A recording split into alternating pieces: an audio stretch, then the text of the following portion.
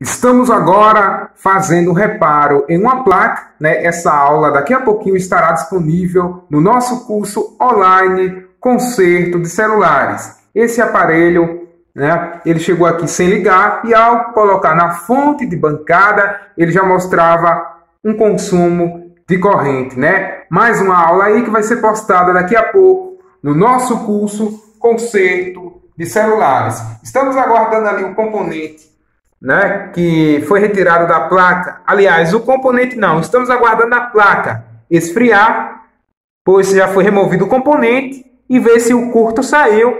E aí vamos né, colocar um outro componente no local, limpar direitinho, testar e se funcionar. Mais uma novidade aí para o nosso curso. Então você que adquiriu, Fique atento que daqui a pouco a aula estará disponível. E você que ainda não adquiriu o nosso curso Conserto de Celulares, na descrição desse vídeo vai estar o link, né? O link vai estar aí e o curso está em promoção. Não perca essa oportunidade. Um abraço a todos. Josael Celulares. Lembrando que ao final você vai ter um certificado.